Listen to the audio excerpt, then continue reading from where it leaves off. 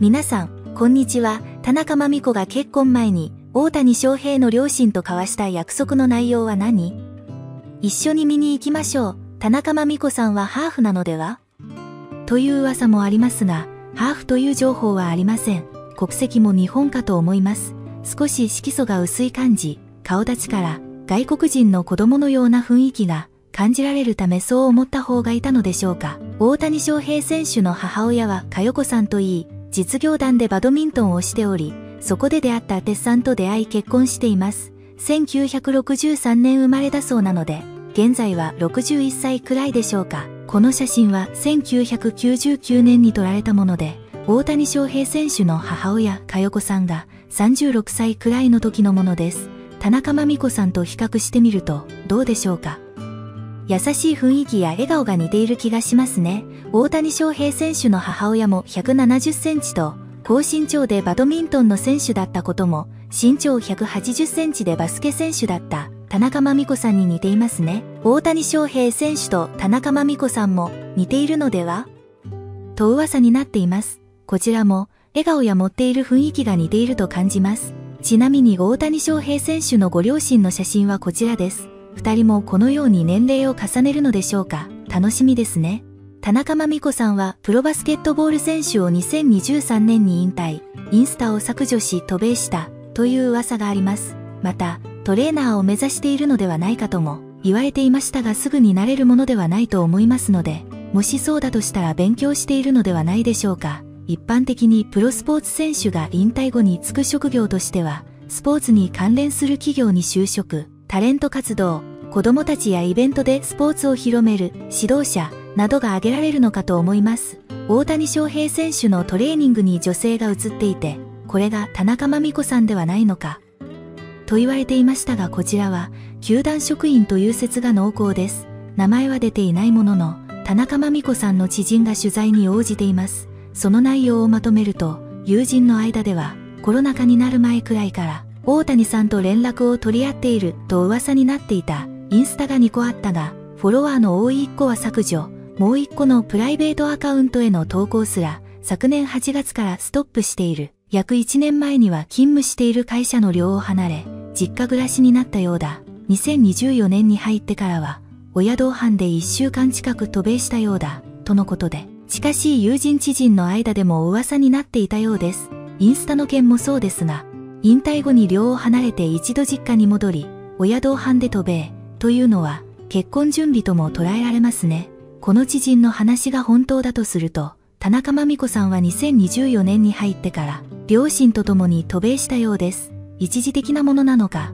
どうなのかはわかりませんが、田中真美子さんがインスタを全消死したことが話題になっています。2023年に現役を引退した後、インスタを削除したという田中真美子さん。調べたところ、アカウントはそのまま残っており投稿をすべて削除したようです。田中真美子さんのインスタアカウント名は、アットマークマミニ N です。今でもアクセスができますが、投稿とフォローは0人となっています。大谷翔平選手は過去見取材の対応の後、ナンバーのインタビューに答え、結婚相手について詳細を語っています。その内容を見ると田中真美子さんである可能性がかなり高いと考えられます。田中真美子さんが大谷翔平選手の結婚相手だとすると、インスタからつながる友人知人に迷惑をかけるのではないか。と思ったのではないでしょうか。かなりのビッグニュースなので卒業した学校やチームにも取材が行ってしまうと思います。少しでもその影響を抑えるため、さらに引退したという大きな人生の区切りでもありますので削除という結論に至ったのではないでしょうか。落ち着いたらぜひ投稿を再開してほしいですね。大谷翔平選手と田中真美子さんが結婚しているという情報が飛び交う中、二人の馴れ初めが気になっていました。田中真美子さんと大谷翔平選手の結婚に至る出会いについて、きっかけを作ったとされるキューピッドは一体誰なのでしょうか大谷翔平選手は結婚に関する取材の中で出会いのきっかけについてこのように話をしています。練習施設の廊下であって、その後短いスパンであった2週間で3回、大谷選手が日本でトレーニングとして利用している施設は、日本での大谷翔平選手の自宅と言われている豊洲にある施設なので、頻繁に出入りしていた場所としては間違いないです。出会ったとされる3年間の当時、田中真美子さんも神奈川県を拠点とする富士通レッドウェーブに所属していました。田中真美子さんも当時は現役バスケ選手であったため、このようなアスリートが集まる練習施設を利用していたとしてもおかしくありませんよね。そして、おそらくこの廊下で偶然あったのがきっかけだったのではないでしょうか。2月29日にドジャースの大谷翔平選手が日本人女性と電撃結婚したことを受け、SNS 上では大谷翔平選手の嫁探しが白熱しています。すでに多くの人たちが大谷翔平選手の結婚相手に元バスケットボール選手の田中真美子さんだと確定させています。大谷翔平選手の結婚は匂わせが一切ないノースキャンダル婚だと言われていますが、残念ながら実際には匂わせをしていた可能性が浮上しています。2021年12月の Yahoo 知恵袋の投稿が注目されています。この投稿では、投稿者が個人的に好ましく思っている田中真美子さんは、大谷翔平選手の彼女、嫁候補に最適だといった内容が書かれています。SNS 上では、意味深、この人何か知ってるだろと言われています。女子バスケの富士通レッドウェーブの田中真美子選手と藤本明選手って、二人とも美人じゃないですか？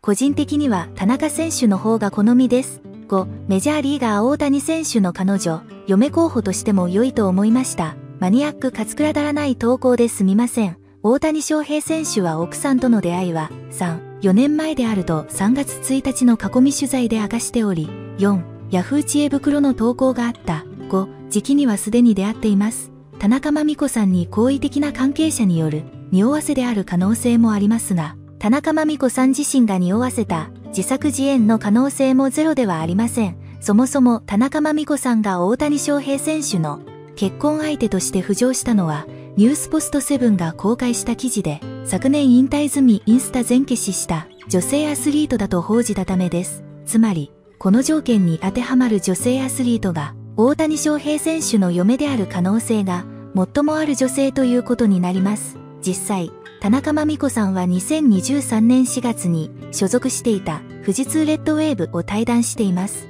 また、田中真美子さんは自身のインスタも削除しており、結婚前に身辺整理をしているところは、羽生結弦さんの元妻、